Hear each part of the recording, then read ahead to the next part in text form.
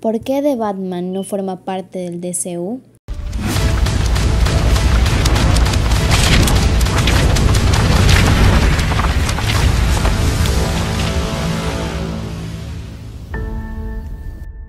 James Gunn ha explicado recientemente por qué el universo Batman de Matt Reeves no forma parte del próximo universo de DC.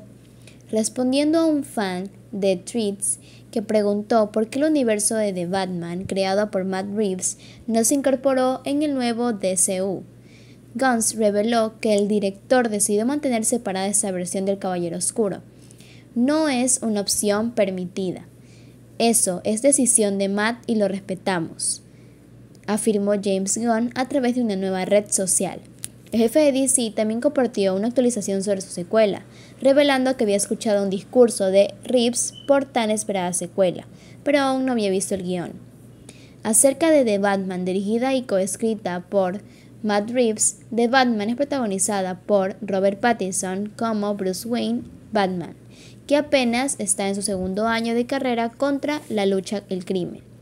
La película sigue al cruzado de capa mientras investiga un asesino en serie, el acertijo que tiene como objetivo la élite de Gotham.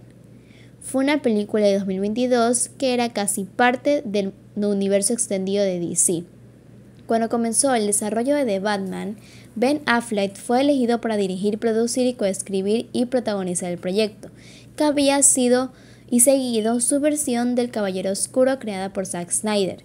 Sin embargo, después de que Affleck abandonara el proyecto y contratasen a Reeves para sustituirlo, el proyecto siguió un camino distinto, convirtiéndose en una película independiente de DCEU, al igual que lo hizo The Joker en 2019. Tras su éxito comercial y crítica, Warner Bros. anunció varios spin-off, así como una secuela directa. Robert Pattinson regresará como el Caballero Oscuro, que será coescrita por Matt Reeves y Mattams Tomlin.